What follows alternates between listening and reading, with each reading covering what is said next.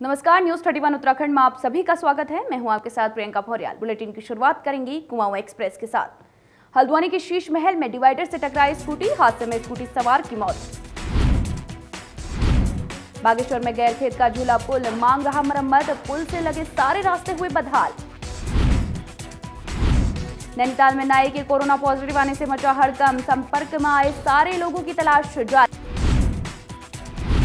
पिथौरागढ़ के डीडी हाट का व्यापारी निकला कोरोना पॉजिटिव, चार दिन के लिए बाज़ार बंद। चंपावत में महिला तस्कर का हुआ पर्दाफाश, तस्कर से नाबालिग लड़की भी बरामद। उधम सिंह नगर में फॉर्चून की दुकान में मिली शराब, आबकारी विभाग ने मारा छापा। अल्मोड़ा में साइकिल चलाते वक्त युवक का हुआ हादसा, मौके पर मौत। हल्द्वानी के देवल चौड़ में छाया तेंदुए का आतंक देवल चौड़ पालम सिटी में छाई दहशत।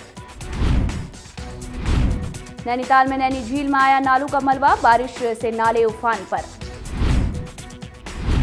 पिथौरागढ़ में मूसलाधार बारिश बनी परेशानी का सबब, बारिश से तीन मकानों को खतरा।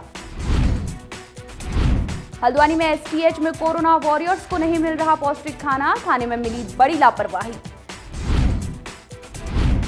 उधम सिंह नगर में कोरोना के मामलों को देखते हुए प्रशासन ने बढ़ाई सख्ती, पुलिस ने किए सारे बॉर्डर सील।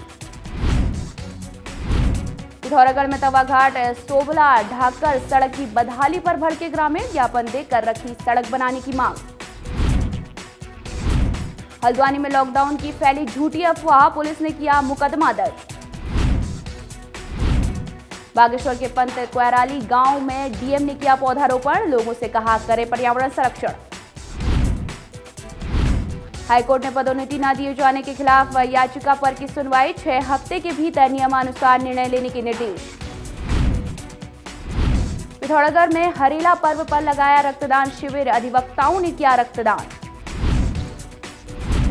उधम सिंह नगर के काशीपुर में लॉकडाउन पर सब बंद, पुलिस ने दिखाई सख्ती। हल्द्वानी के सोनकोट में तीसरे दिन भी नहीं मिला घायल गुलदार, वन विभाग की तलाश जारी। बागेश्वर में नेहरू युवा केंद्र ने लगाए पौधे, युवाओं से की संरक्षण की अपील। कुमाऊ एक्सप्रेस में फ़िलहाल इतना ही। देखते रहिए न्यूज़ थर्टी उत्तराखंड। नमस्कार।